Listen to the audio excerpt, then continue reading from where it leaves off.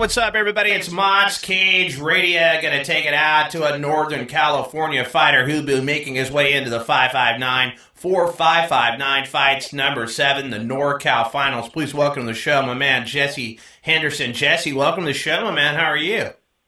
I'm good, man. What about yourself? I'm damn good, my man. Uh, I see here that you are six and one. Uh, you're fighting out of my boy's gym, the bad man himself uh, Big Dave Huckaba's Next Generation MMA. Uh, take me through it, my man. What's your style? I know, uh, I know the bad man likes to stand and bang, but uh, a lot of people don't know he's got some mad jujitsu skills. What is your style, my man? Oh man, I like to stand up and bang myself. That's my style. I don't like too much messing with the ground. And I like to keep the fight standing up. You know, I feel more in control that way. Okay, fantastic. Now I interviewed your opponent uh, Isaiah Gonzalez this morning, and he said he likes to stand and bang too. So now I'm super excited that you two cats are going to stand in the middle of that cage and absolutely trade bombs. Is that what I'm going to be uh, looking forward to on October 27th? Oh, definitely, definitely. You know what I'm saying? It might end early. Oh, that's like that, huh? That's what I'm talking about. So, uh, no throw caution to the wind. You two guys are going to be throwing blows. Now, take me through your training. Uh, a lot of the amateur guys obviously have uh, day jobs and whatnot. Uh, amateur MMA isn't paying your bills yet. So, take me through it, my man. How many hours a day do you spend training? Oh, man, I, I got a day job. You know, I work from uh, 6.30 to 2.30 and I get off, you know, I go running for about 30 minutes to an hour, depending on how I'm feeling that day. And, you know, I go into EPA boxing, East Palo Alto, I get my boxing in, and then I go and I get a little bit of jiu-jitsu with my brother, and then I head down to Stack on the weekend and go train down there a day, you know, my trainers out there. I usually train about average four hours, three hours a day. Now, do you have a wrestling background at all, or uh, how long have you been training MMA? You know, just strength training MMA. I got a boxing background, and I but I didn't start boxing until after I started MMA. You know, but uh, yeah, I, no wrestling, no wrestling here. I just got natural abilities on the ground, just you know, athletic abilities to get up out of a lot of stuff. Okay, fantastic. Now, what do you know about your opponent? What do I know about him? Yeah. Um, he's tall, uh, long. He throws a lot of kicks.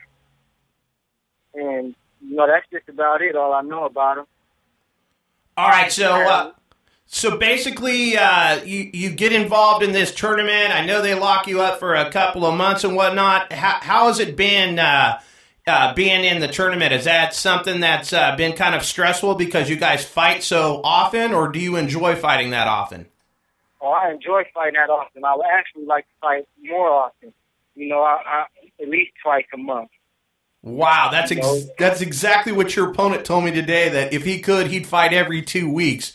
So I'm yeah. I'm absolutely looking for fireworks in this uh, in this bout. You guys uh, sound like you both want to stand in that cage and trade. Now, uh, who will be in your corner for this one? John and, and uh, my good partner Casey. Okay. So uh, this one's going to be fought at 135 pounds. Is that right?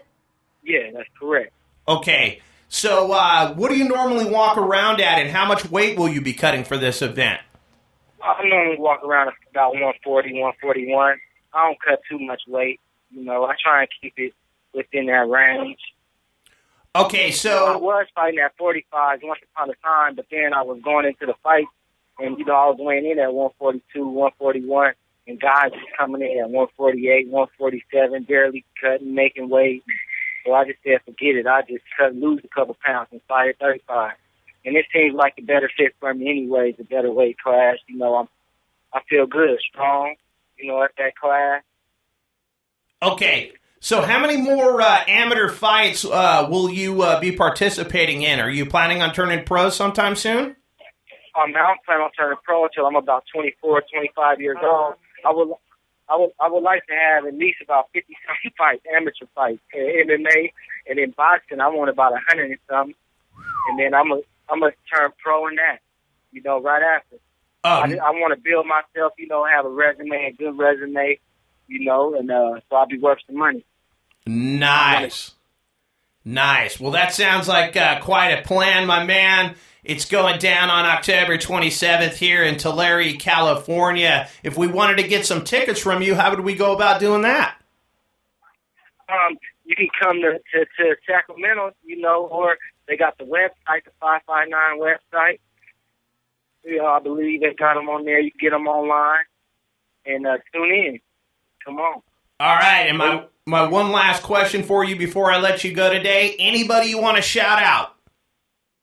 Uh, man, I want to shout out my whole family. I want to shout out my trainers. You know, God, and you know we coming. Outstanding. Well, I am definitely looking forward to this one. It sounds like you guys are going to throw the six ounce gloves at one another's faces, and uh, I'll be looking for some fireworks. I appreciate you joining me on the show today, my man. We will see you on the scales October 27th in Tulare, California. See you there. All right, my man. Thanks again. No problem.